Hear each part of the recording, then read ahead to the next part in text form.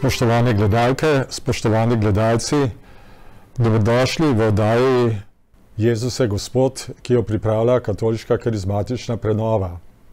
Danes bomo govorili o čudežih in to ne o čudežih kar tako, ampak o čudežih v Jezusovem imenu. Naj vam predstavim našo današnjo gostjo, to je Mojca Giacomelli. Ona je vodja zavoda Živi na polno in najbolje, da se kar sama predstavi. Ja, vodja zavoda Živi na polno. Trenutno delam največ uh, na področju uh, evangelizacije žensk pod imenom Ženska na polno. Uh, Drugače sem mama petih otrok, že babica dvakrat, ful rada plešem, surfam. Zelo lepo. Rada živim. No. No, dragi gledalci, oziroma gledalke, to je zelo veliko, da nekdo rad živi. To moramo posebej podariti. In uh, glede na to, da se z gospod Mojco dobro poznava, se bova tikala. Tako da, uh, Mojca, kaj bi lahko rekla, kateri je bil tisti prvi čudež, ki si ga sama doživela, res kot čudež? To, da sem doživela srečanje z Jezusom. Uh, stara sem bila okrog 21 let, ni me zanimala čist nič crkva, nič me ni zanimala vera, se mi zdelo, da imam vse, da sem srečna. Uh, čeprav sem pa bila iskalka, to sem pa bila in sicer me je zanimalo, kaj, a zdaj je to glavni cilj moj, da doštudiram, se poročim, imam otroke in to je to. To bi bilo malo premalo. Um, tako da najprej sem večkrat New Age okušala, pa um, mal tipala, mal tukaj, mal tam. Dokler nisem pa uh, po moji mami prišla do molitvene skupine in z njimi šla na duhovne vaje. Pač to je cela zgodba, zdaj ne bom tega razpredala, ampak bi rada pa to podarila prav ta trenutek. Bilo je na Vipavskem križu in sem uh, šla v kapelo.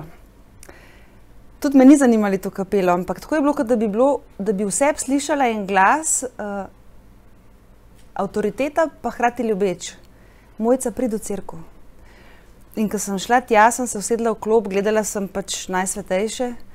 In enkrat se je zazdelo mi tako, da bi ratala tišina in bi se komponenta časa ustavila.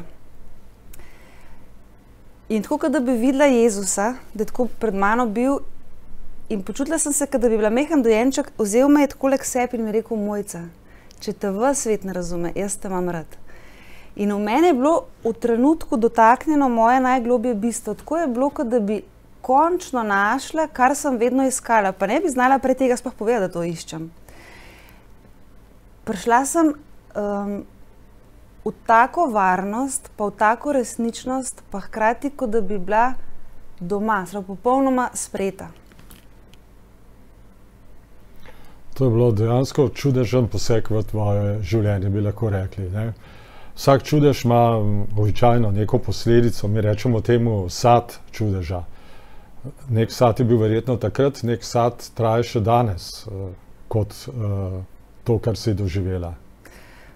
Takoj po tem dotiku se je v meni oblikovala ena želja in sicer želja, da bi to resnico lahko posredovala takim, ki so v isti poziciji, kot sem bila jaz tik pred tem. Se pravi, ki imajo občutek, da crkva ne ponuja nič pametnega, da imajo pravzaprav vse pa hkrati imajo vse neko lakoto, s katero niso niti v stiku. In mene je prijela prav tista taka želja, prenesti Jezusa takim. Recimo, to je bilo takoj, takoj po tem dogodku. Smo imeli tudi pol molitev, to je bilo um, po, ob koncu duhovnih vaj. Uh, je cela skupina molila za vsadzga in jaz sem takrat to svojo željo uh, tako na glas povedala, čeprav se mi je zdela tako nemogoča in revolucionarna. Ne? Uh -huh. In ta tvoja izkušnja je potem tekom let, mnogokrat na, in na različne načine, je trajala naprej, pričevala je neko božje delovanje v tvojem življenju. In uh, kaj je v tvoji življenjski zgodbi, poleg tega sprobrnenja, res en tak velik božji poseg, ki meji na čudež? Če gledaš na celotno svojo življenjsko zgodbo. Če gledam na celotno življenjsko zgodbo, um, bi lahko par vidikov izpostavila tega, kar se zdi meni res čudež. In sicer to, da sem doživela res težke stvari, um, ločitev ob petih otrocih, pa brez službe. Ampak vse čas sem vse imela eno veselje, ki ni bilo samo moje, ampak je bilo prav um, poseben dar. In močno zaupanje, tako um, gotovost, da bo Bog za me poskrbel. In tudi je, in to na finančnem področju. To je pa tretje to področje, ki sem pa doživljala in še doživljam, prav na področju financ, to, da je Bog taki priskrbi, da je dovolj bogat, da poteši vse naše potrebe in da ne samo da da za osnovne stvari, ampak da ko On odloči, da tudi za tisto, kar je posebno moje veselje, pa je v bistvu nadstandard ali pa um, sledica. Ne? Um, zdaj ne vem, povem kaj bolj konkretno. Ali... Lepo bi bilo, naše gledalke in gledalce gotovo zanima. Okay. Se pravi, ko sem jaz ostala sama, uh, ko se je mož odselil, jaz sem bila brez službe. Predtem že sem jaz hodila v kapelo, um, redno mol, zato ker to je bilo edino, kar me še držalo po koncu. In ko sem premišljala, kako bomo zdaj preživeli, mi je prihajal skozi molitvi, da me Bog pripravlja za svojo službo in da me bo naučil, oziroma me vodil skozi življenje v njegovi previdnosti. In jaz, kar sem poznala iz tega besednjaka, pa iz, iz tega področja, je bilo Međugorje, ki smo hodili pač vsako leto na festival mladih in so tam pričevali skupnosti Čenakolo. Nekako Bog odgovarja konkretno na njihove potrebe, na njihove prošnje in tako. In pa sem si mislila, ok, to je čist noro, ne? ker sem drugače zelo tako prizemljena. Ne? Hkrati mi pa od te izkušnje začetne prav vedno gori srce za, za Boga in hkrati me vabi v ta osebni odnos z njima. Seka, ok, če nekaj je tako velik, on preživi, preskrbi, pa kaj bo njemu za mojih pet otrok, pa mene. To je bila pač tista, tista osnovna zaupanje, znotraj pa boj. Znotraj pa taki boj, da sem nora, da sem lena, da.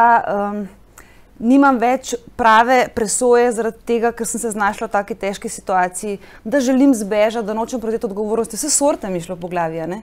In jaz, če takrat ne bi imela molitvene skupine, kamor sem hodila, um, ne bi zdržala teh bojev in um, se upala odgovarjati na to, kar sem prepoznavala vse notranje. Oni, ki so za mene molili, so pa dobivali enako kot jaz. Da me Bog pripravlja za svojo službo, noben ni imel pojma, kaj naj bi to bilo in da me bo on preživel, da mi ne bo manjkalo nič.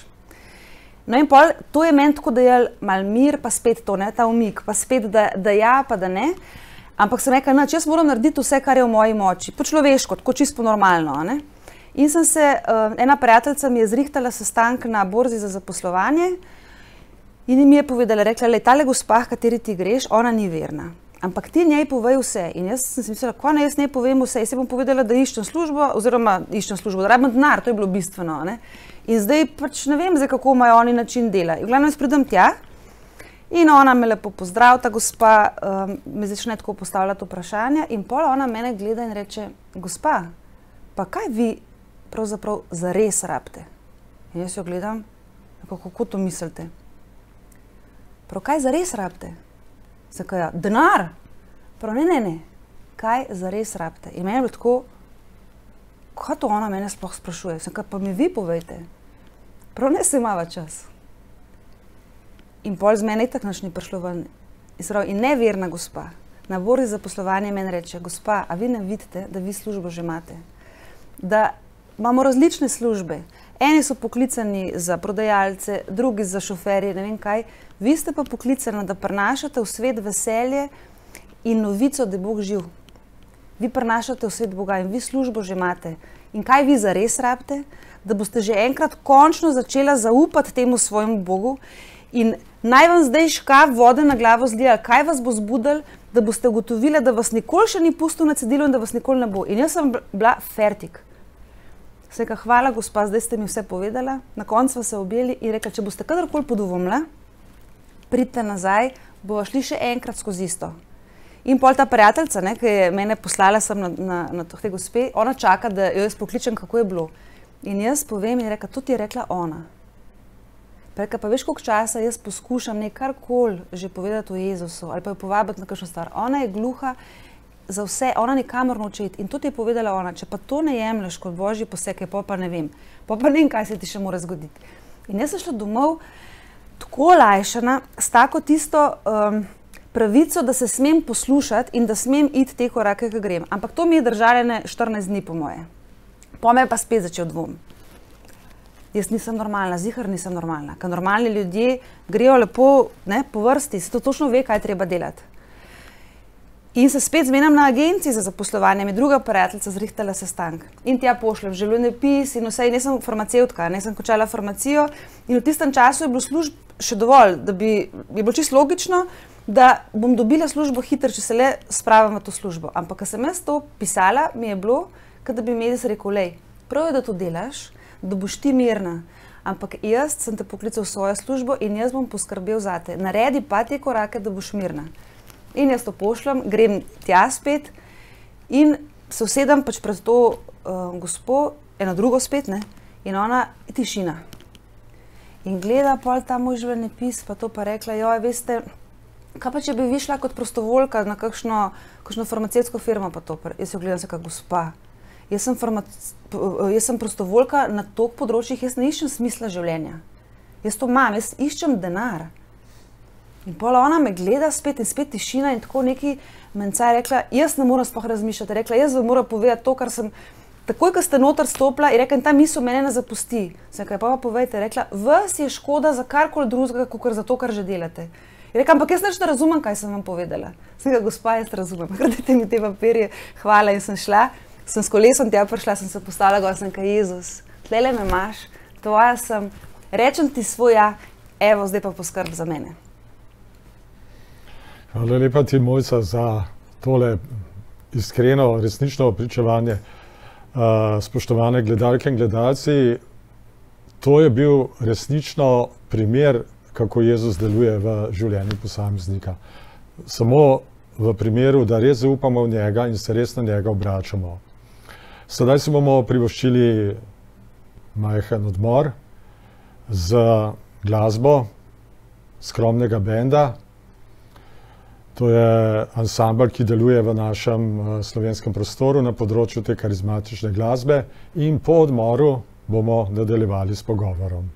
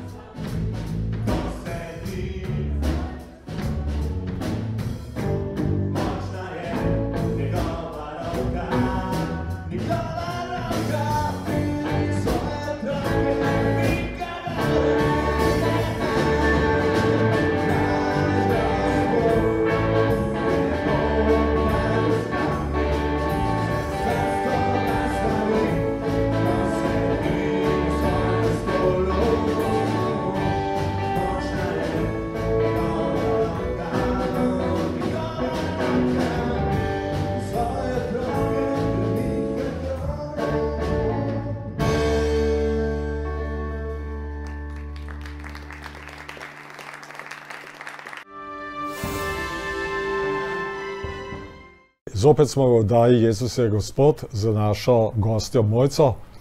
Mojca, slišali smo tvoje pričevanje, kako je bilo na Zavodu za poslovanje, kako si rekla ja tistemu Jezusu, ki ti je dajal neko pobudo, kaj storiti za njega. Vendar ta pobuda sama po sebi ti ni prinašala nekih finančnih rezultatov, ki si jih tako nujno potrebovala. Kako se je to potem izkazalo v tvojem življenju? Ker sem jaz rekla ja, takoj po tistem si ti meni poslal mail, če sprejmem uh, vodenje seminarja Glej luč. In sem rekla, ok, Jezus, se pravi, je to zdaj moja ta pr, moj ta prvi korak, da to naredim. In že prej, ne, že, že leta sem jaz dajala desetino, se pravi, tako kot piše v svetem pismu, desetino vsega, kar je prišlo denarja k meni, sem jaz dala naprej. Za, um, pustila sem se voditi komu in um, kam in tako. Um, se pravi, to mi je bilo normalno, da jaz dajem. Ampak jaz sem se takrat znašla v poziciji, da sem pa mogla začeti sprejemati in meni je bilo to ful težko. Jaz sem vedno rada pomagala ljudem, vedno sem um, rada, se pravi, da je od mene šlo k drugim. In to je bila pa zdaj meni taka bolečina, ker sem bila pa zdaj jaz pa v poziciji, ko pa nisem mogla več v bistvu dati nič, kar se tiče materialnega, ampak iz, sem jaz prišla v to točko, ko sem mogla začeti pričakovati, da um, bo meni pomagano. In za me je bila to fulkrvava šola.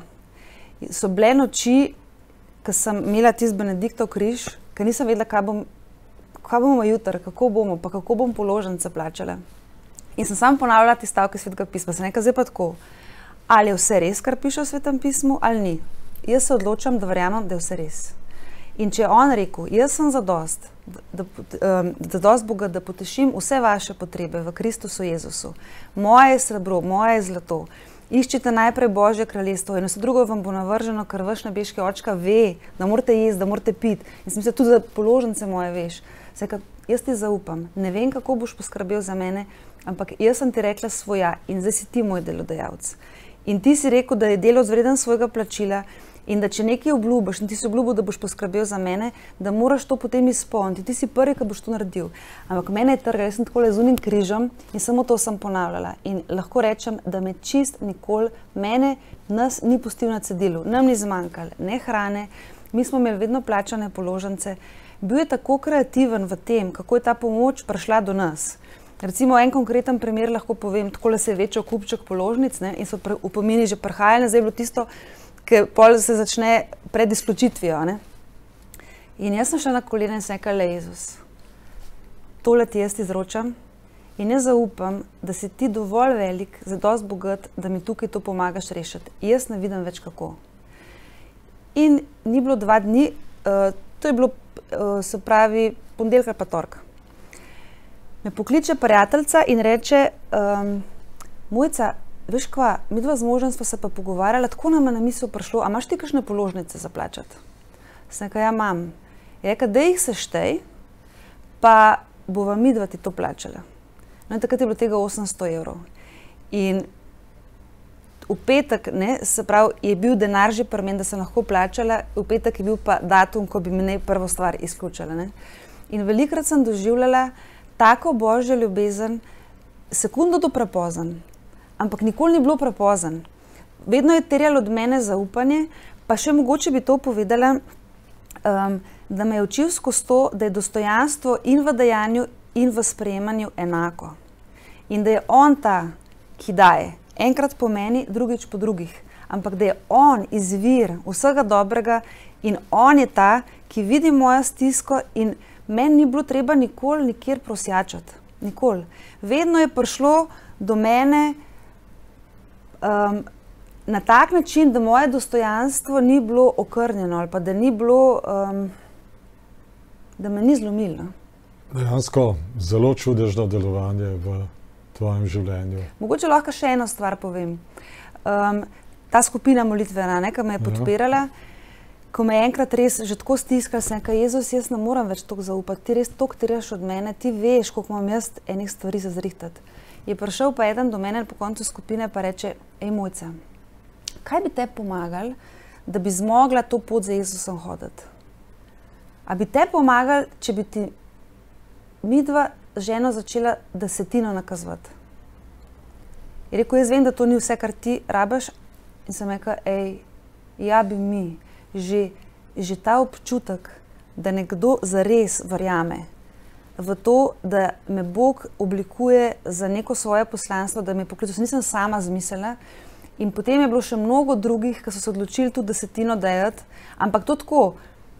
Um, večina je bila takih, da nisem vedela, da bojo dali. Jaz nisem mogla računati nikoli. Ne?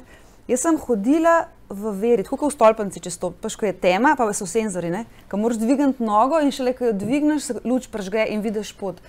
Veli, večinoma je bilo tako, da nisem imela nobene garancije, da se bo zgodil, um, ampak sem bila samo poslušna. Eno stvar sem se še zdaj le spomnila. Seveda, izvoli, povej še to. v Rimu. Ne? V Rimu so bile ene duhovne vaje. Um, dobila sem mail, uh, da, da bodo ene duhovne vaje. Jaz, ko sem to prebrala, sem vedela, jaz moram tja priti. Ampak sem bila čist brez denarja.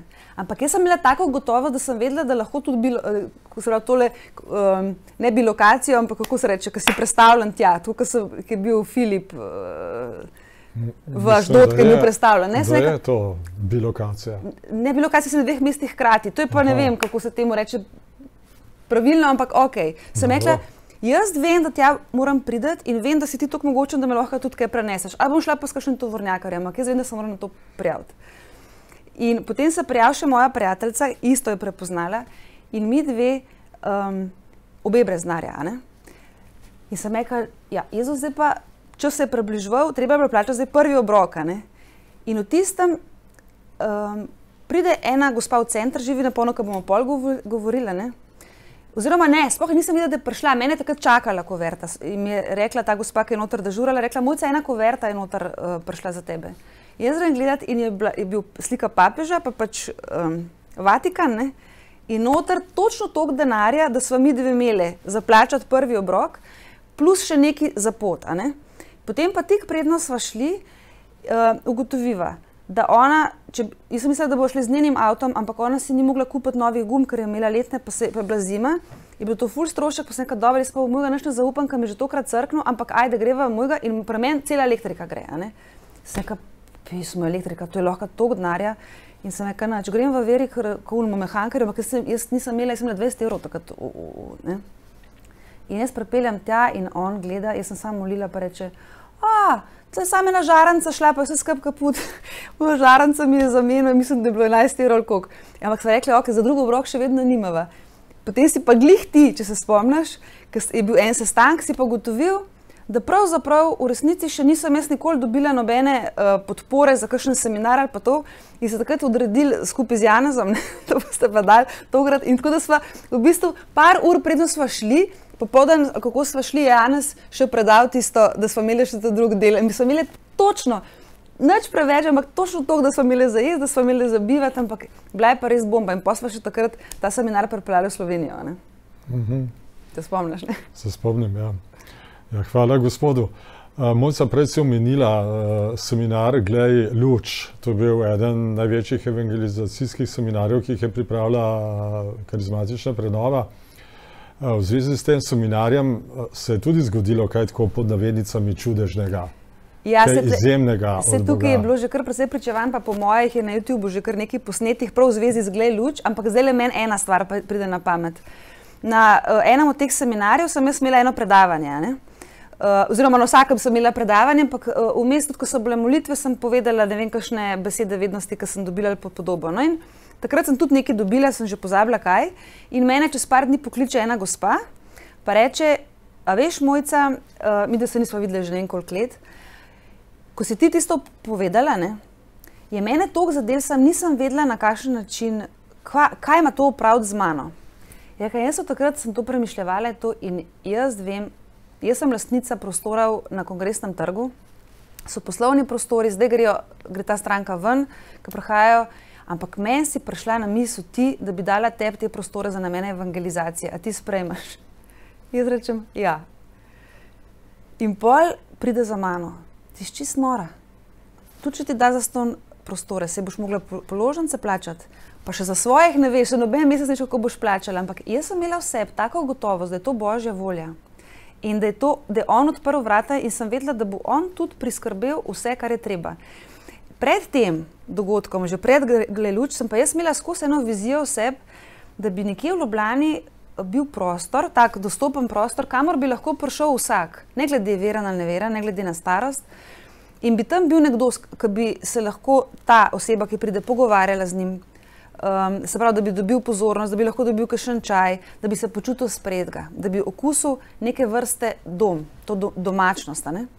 No in potem, um, se pravi, jaz to sprejmem, to vse se dogovorimo, pa to, ampak je bilo pa treba zdaj prebelstvo, ne, denarja se prav ni bilo. In pa sem rekel, ok, Jezus, ti si to zdaj prepeljal, zdaj ti pa prosim, treba to prebeliti. Jaz se ne upam gor po lotri, to so visoki stropi, ne, ker so stara stanovanja, jaz se ne upam še dol padla, sama niti ne znam, ne vem kako beliti. Zdaj mi prosim te pokaži osebo, ki zna beliti, ki bo z veseljem bela, pa da rabi denar. Ne? Potem mi pa še dej osebo, ki ima denar in si bo z veseljem ta denar dala. In meni pride na pamet uh, en gospod in ga jaz pokličem in on, njemu se zač- začne, on začne jokati po telefonu, kako si ti vedela mene poklicati, a ti veš, kaj se zdaj meni dogaja. Jaz sem se odločil, da se bom fental. Je rekel, jaz imam doma, ne vem, koliko otrok je imel, je rekel, jaz sem že nekaj časa brez službe, nobenega projekta nimam, bil je malara. Ne? Je rekel, kako si ti glih zdaj poklicala, če sem glih, glih sklenil. Se, ka, ja, ne vem, pač Jezus očitno je vedel, da pač mene tebe pokazal. Ne? No in on pride, sem rekel, gledaj, ti poglej, koliko bo to cena. Uh, in jaz sem se do takrat že toliko zverzirala poslušati tukaj noter, ker moja glava je tako zadnji tekla, nič ni razumela, čustva tudi po svoje. In sem se uh, učila že leta prepoznavati tle noter. In sem rekla, lej, postavi ceno, uh, če bo preveč, ti bom povedala, če bo premalo, ti bom pa tudi povedala. ne. Ampak vzam si čas, ne zdaj postaviti. To premisel pa tako. No in pol čez par dni res on postavi ceno in jaz sem vedela, da je postavil premalo. In sem rekla ne, ampak jaz nisem imela niti evra. Ampak jaz sem tukaj noter vedela, da je on postavil premalo, sem rekla ne. In sem dobila cifro, koliko mu moram dati. Sem rekla, tokle boš dobil, kdaj lahko začneš. In on že začne. Pa pa grem jaz uh, čez mesto, pa slišim, da se en dere, mojca, mojca in skupaj pogledam. In je bil eden, ki je hodil na seminar, gledaj luč. In je zaradi seminarja se odločil, da bo šel narediti uh, zakramente. Se pravi, ne, ne vem, je bil krščen ali ni bil, ampak v glavnem vse narediti. Ne. Je rekel, a veš, da jaz vam pa zdaj le bermo, a prideš ti, uh, te povabim. Sem rekel, ja, pridem z veseljem. No, in tam se pa srečamo. Pa z enimi prijatelji, ki se pa tudi že kar nekaj časa nismo videli, pa pridejo do mene in pravijo: hej, moj, to smo slišali, da je en prostor, delaš nek center, tam odpiraš na kongresnem trgu. Sem rekel, ja, prav kako ti pa gre, sem rekel, zdaj rabim enega, da bo pra, pa, uh, plačal pleskanje, prav mi plačamo. Sploh ni vprašal niti koliko denarja, nič. In v glavnem to je zdaj en tak sladkorček, se tega je bilo še glede vidi s centrom še ful veliko. no. Zelo lepo, da nam zaupaš take stvari, ki so dejansko zelo pričevalne in kažejo na delovanje Jezusa v človeškem življenju, konkretno v tvojem življenju. Ampak, če gledava še na center oziroma zavod Živi na polno, ta zadeva se je razvijala naprej, razvijala si nove, oziroma skupaj s sodelavci se je razvijala nove programe. Lahko poveš kaj o tem, ker tudi ti eh, programi so na nek način fascinantni in se kaže v njih zopet taki izredni božji posegi. Ja, um, tja so hodile ženske, ne? zato ker so pač, ne vem, druga drugi povedali, da sem jaz dala to skozi, pa uno skozi, pa tretje skozi. In pa sem ugotovila, da jaz dan na dan ponavljam iste stvari. In v meni je začel z- zoreti, da bi jaz očitno mogla nekaj organizirati, da jih več na kupu zberem. a ne. In povem enkrat, ne? pa mogoče parkrat, ne? pa vsakeč isto, isto, isto. No, in v center je hodila tudi um, živa, s katero zdaj skupaj delava, uh, na pogovore in smo se zbližali skozi te pogovore. In pol jaz ji enkrat rečem, da je živa. Je, meni je pa prišlo čist jasno, da moram narediti za ženske in tudi vem, kaj, kaj je tisto prvi korak. Pa reče ona, a res, kaj pa? In ji razložim.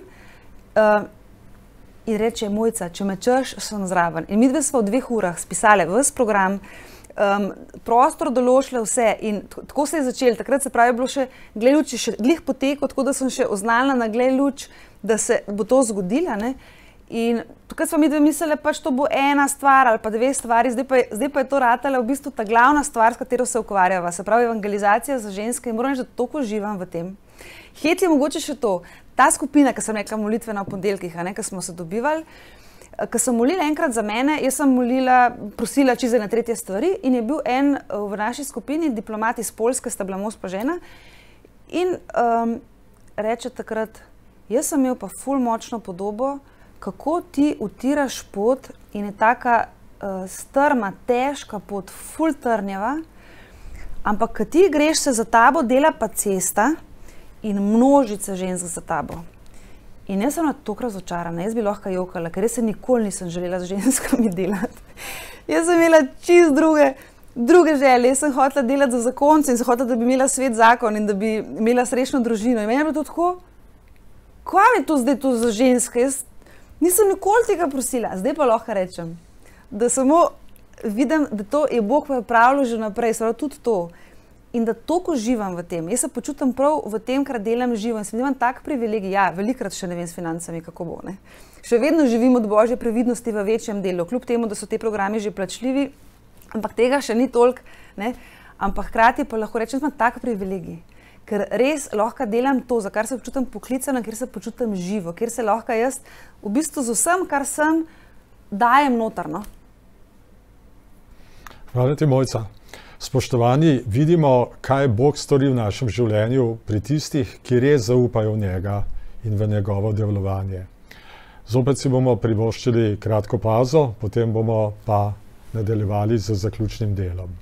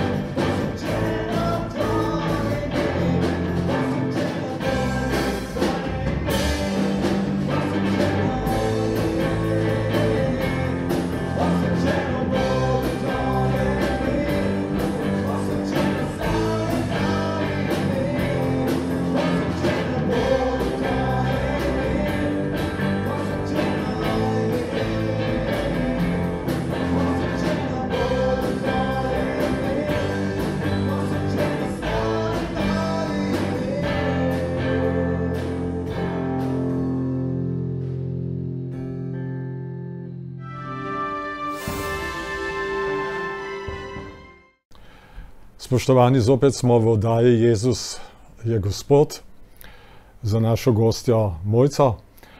Mojca, še zadnjo in hkrati temeljno vprašanje, ko govoriva o izrednih božjih posegih v našem življenju.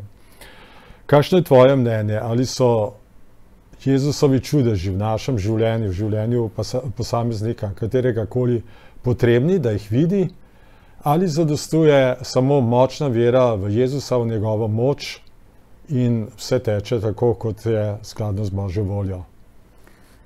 Pa se v resnici je že vera na nek način čudež. Ja? Um, in če gledam iz te strani, ne, ali pa tudi to, kar se dogaja vsak dan pri Maši, a ne, se pravi na oltarju, ko postane Jezusova kri, Jezusovo telo, vse to ni navadna stvar, to je čudežna stvar. Ne? In če gledam Jezusa, on je delal čudeže, on je hodil z kraja v kraj, se pravi, on je ocenil, da so potrebni, da te na nek način morajo oplaziti. Zdaj, ali o njem preberem, mogoče, ali mogoče gledam kakšen posnetek, ne? ali um, se meni zgodi, ampak nekako se nam kljub vsemu naša vera krepi ob teh božjih dotikih. Zdaj pa kako, pa kaj je za nekoga čudež? Ne, sam po sebi čudež še ni dovolj. Jaz vem za ljudi, ki so videli um, marsikaj, pa se njihova vera ni čist nič okrepila ob tem, ne?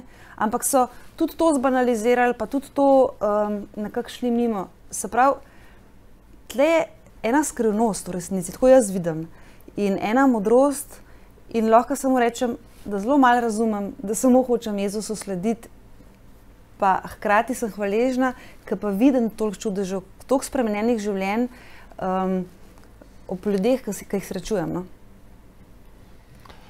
Hvala lepa ti tudi za ta odgovor. Se pravi, lahko na nek način rečemo, da so, in to lahko tudi vsem povemo, da je zelo dobro, da v življenju vidimo čudeže. Ni pa rečeno, da, bodo, da se nas bodo ti čudeži dotaknili, da nam bodo sploh kakorkoli pripomogli na poti bližje k Jezusu. Kajti Jezus je sam rekel: Blagor tistim, ki niso videli, pa verujejo. Se pravi, za močno vero ni nujno, da čudež vidimo, če tudi je to zelo dobro in fajn, ampak moramo zaupati v Jezusu tudi v primeru, da nam ne da nobenega vidnega znamenja svoje pomoči. Cilj ni čudež, ne? Tako. Cilj je odnos z Bogom. Tako. Cilj je On. Se pravi, čudeži mi lahko pomagajo na tej poti, ampak niso cilj. In recimo tekom poti moje, vidim, kolikrat sem se zahakljala ob tem, da sem od njega želela um, dar in sem si bolj prizadevala, da bi ta dar dosegla, kot da bi uh, bila v odnosu z njim. In mi je tokrat pokazal, da je največja dragocenost odnos z njim. Biti z njim srce na srce. Ne toliko to, kar pride, itak pa da tudi rabimo to, kar pride. a ne. In včasih je težko sprejeti, da nekaj, za nekaj res prosim, pa res verujem, pa res zaupam, pa se ne zgodi. ne. Ampak je, gled, ja. tukaj ima Bog svoj način, on ve, kdaj odpreti, on ve, kdaj zapreti, ampak on je glavni cilj. Zelo lepo povedano. Zelo lepo povedano, in s to mislijo bomo tudi zaključili današnjo oddajo. Cilj našega življenja je Jezus, odnos z Jezusom, da mu res svoje življenje, tako kot je pričevala Mojca, v celoti predamo, se v celoti zanesemo na njega. In bodi si, da nam bo to neposredno pokazal, bodi si, da tega ne bomo takoj videli, nam bo gotovo stal ob strani. Lahko tako rečeva. Pa mi, jaz bi spodbudila vse gledalce, upaj si prosa, da ti pokaže svojo ljubezen Jezus. Da te pokaže, ne da poslušaš, kaj ti ta reče, pa on reče, ampak da pokaže tebi, da ima tebe rad. Zelo lepo povedano. Lepo, da smo bili skupaj, da smo, se, da smo skupaj razmišljali, se skupaj pogovarjali in vas povabimo, da, sme zopet, da se nam zopet pridružite na naslednji oddaji Jezus je Gospod. Z Bogom.